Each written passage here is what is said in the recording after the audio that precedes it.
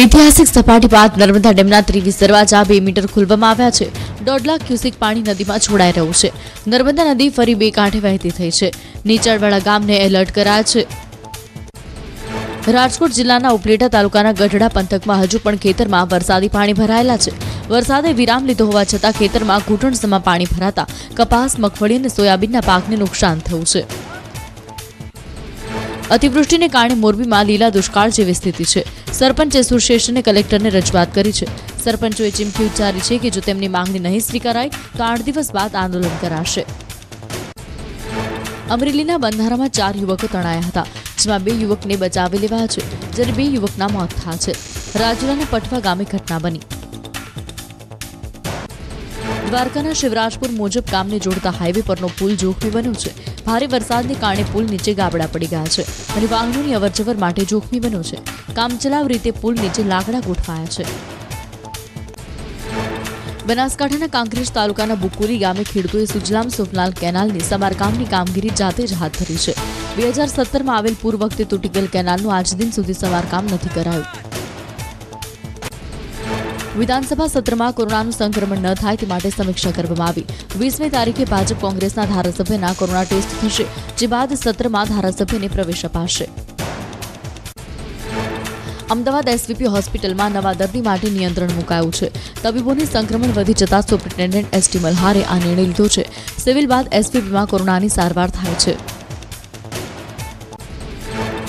રાજ્યસભામાં ગુજરાતના સિંહનો મુદ્દો ઉઠ્યો. સાંસદ શક્તિસિંહ ગોયલે કહ્યું કે બિનવૈજ્ઞાનિક ઢબે સિંહને રેડિયો કલર લગાવાયા, જેની સામે કડક કાર્યવાહી કરવામાં આવે.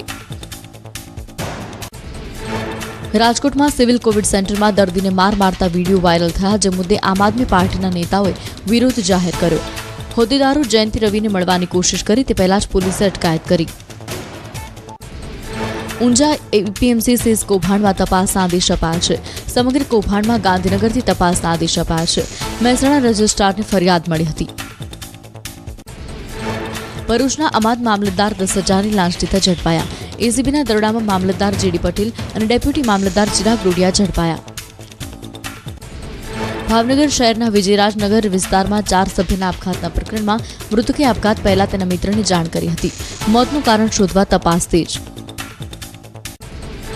મહીસાગરના વીરપુરમાં કારમાં તોડફોડની ઘટના સીસીટીવીમાં કેદ થઈ છે. જિલ્લા પંચાયત સભ્ય પિનાકીન શુક્લ અને રાજકીય આગેવાન મહેન્દ્ર બારોટ વચ્ચે મારામારી થઈ હતી. જે કેસમાં શુક્લ પરિવારની કારના કાચ તોડ્યા. સુરતમાં તસ્કરોએ તરખાટ મચાવ્યો છે. ઓલપાડના ટકારમાં એટીએમ ચોરી પ્રકરણમાં પોલીસે તપાસ તેજ કરી છે. ડોગ સ્ક્વોડની મદદથી લૂંટારોને પકડવા ચક્રો ગતિમાન કરાયા છે. વલસાડ નજીક Ahmedabad Mumbai national highway firing બાદ કાર લૂંટવાના કેસમાં પોલીસે ચાર આરોપીની ધરપકડ કરી છે. બારમી તારીખે મુંબઈના બાંદ્રાથી સતીશ પુલસિંગ કાર ભાડે કરી હતી. અમદાવાદમાંથી પકડાયેલ એક કરોડના એમડી ડ્રગ્સ કેસમાં ક્રાઇમ બ્રાન્ચને મોટી સફળતા મળી છે. નશાના કારોબારના કેસમાં આખરે માસ્ટર માઇન્ડ પોલીસ ગિરફ્તમાં આવી ગયો છે. પોલીસે મુંબઈથી અફાક અહેમદ ઉર્ફે અફાક બાવાને પકડી પાડ્યો છે. જામનગરની ચાંદી બજારમાં આજથી ઓગણત્રીસ સપ્ટેમ્બર સુધી લોકડાઉનનો નિર્ણય લેવાયો છે.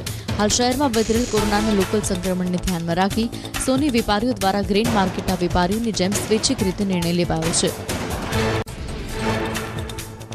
અરવલ્લીમાં મુખ્યમંત્રી ઉત્કર્ષ કાર્યક્રમ પહેલા દિવ્યાંગ દંપતીએ આપઘાતનો પ્રયાસ કર્યો. પોલીસે બંનેને અટકાવ્યા દંપતીના ઘર પાસે રોડની સમસ્યાને લઈ આત્મવિલોપનનો પ્રયાસ કર્યો. ભાવનગરના વલ્લભીપુરના જાળિયા ગામે જંગલી જાનવર હડકાયું થયું આઠથી દસ લોકોને બચકું ભરતા લોકોમાં ભયનું વાતાવરણ. ઘાયલને હોસ્પિટલ લઈ જવાયા છે. ગામ લોકોએ જંગલી જાનવરની શોધખોળ શરૂ કરી.